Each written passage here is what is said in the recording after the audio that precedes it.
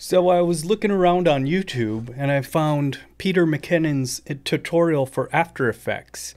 And then I thought, anything you can do, I can do better. So basically, he's using After Effects to make a uh, sepia toned intro.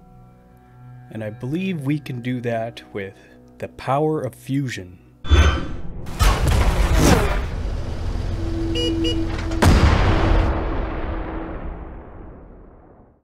So I cut my little sequence up here. With the power of fusion, we're going to make what Peter McKinnon did in his After Effects tutorial. So with this sequence here, it's a bunch of chopped up little parts. I'm going to turn this into a compound clip. So now that whole sequence is one clip. I'm going to go to Fusion. Now, don't be scared of Fusion. It's easier than you think.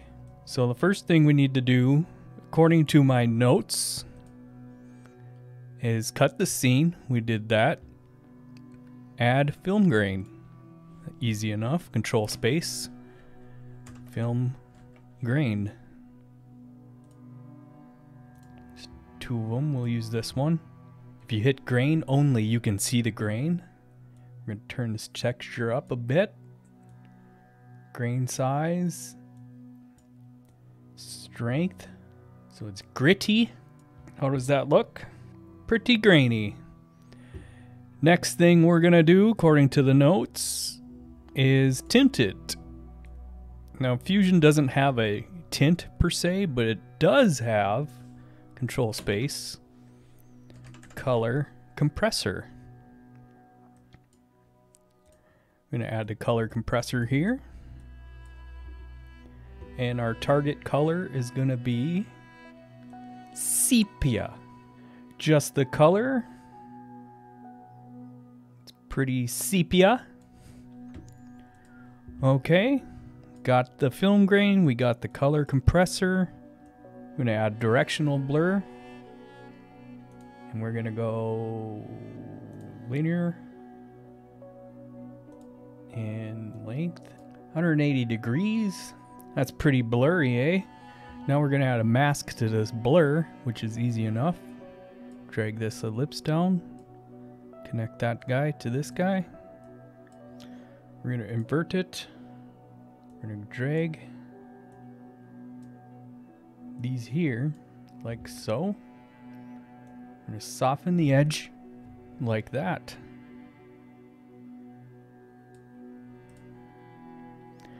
Nice little blur around our scene here. Now, what's next? Film grunge. We're going to grungify it. This grungy loop I found on the internet. Put that in one so you see it. Make some space. Um, kind of just iterates around. So we're going to add that on top of everything. And the way we got to do it first is we got to invert the colors. So we're going to go control space, invert. Put that on one, just like so. And then we're going to add a color curve. So essentially what we're doing, we're turning this black and white and we're making a, uh, a mask. Everything black is going to show through. White is going to be blocked. And we'll see what that We'll merge this to there. Okay, we got our uh, grungy overlay type looking thing over it. And then we're to add something from Res Resolve, Control Space, Film Damage. What this is to do is it's to add dirt and scratches. You can add a bunch more scratches if you wish. This whole thing is subjective, so whatever you want to do, you can do. It's easy. Um, so, so far we have uh, our media coming in, put grain on it, we put a blur on it, we tinted it, we're merging it into this uh, this over this filmic overlay, and then we're applying film damage. Uh, one other thing we did here for the logo see how it sizes up and inverts. I want to invert just like the last couple frames of this. And you're going to ask yourself, how do you do that with a node based in Fusion? Well, I'll tell you how.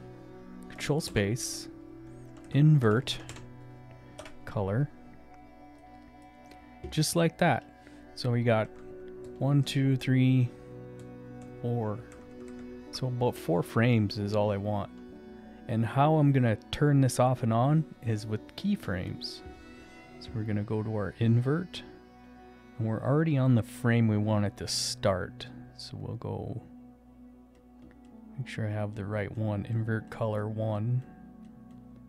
Invert color 2 is what I'm looking for. Turn that down to that frame.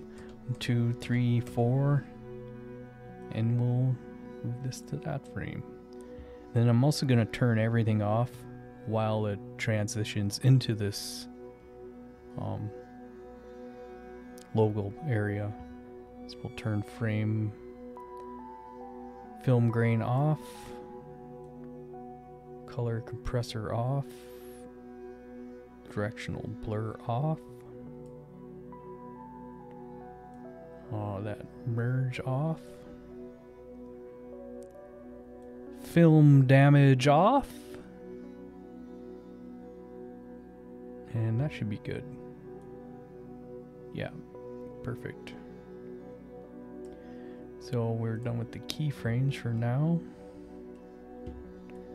So, so far we got a grungy pickup going into uh,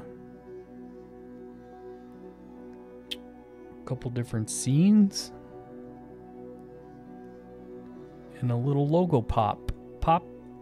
See it pop? To get that filmy that film matte overlay looks like a like a projector with the film not tracking correctly. I'm going to put it on this frame here. So we're going to add uh, this guy here. And what this is, it's just a it's just an image. Find it off the internet. It's got a transparency layer. And then we're gonna merge that into our scene here. So how would you how would you do that? You'd click here merge it in there. Now you see it's way the wrong size. So we're gonna resize it just with one of these. And it resizes it down to the size we need so then I want to transform it um, as this whole little group outputs to the media output. And to get that filmy looking uh, offset, uh, we don't need an offset tool like Peter used in his uh, After Effects. So where all we have to do is drag the Y up or down, whichever. See how it moves the whole group. And then instead of edges, we'll do wrap so it's like a, a carousel here. And you just pick a frame, you pick it down to here. And we're only gonna be like five frames of this. So what I'm gonna do is I'm gonna keyframe the move, advance a few frames, and then move this a little, advance a few frames, move this a little. This will give it kind of a jiggle as it's moving. And that's all I want. And then it starts to transition, so I'll move it back to where it was. And one more little thing on top of this. Um, we'll add a, uh, flicker. Control space, flicker, flicker addition. and we're going to change the speed to a lot. And again, this is all subjective, so you can add a million nodes and and go crazy. Turn that off. We'll go to one screen. Make this bigger. So I and I only want them on these frames. So this is about the end of that film roll. Go to the keyframes again. Make some room. So you see it comes down, wiggles a little bit. Wiggle, wiggle, goes back. Wiggle, wiggle, goes back. With a little sound design, you'll get something like this.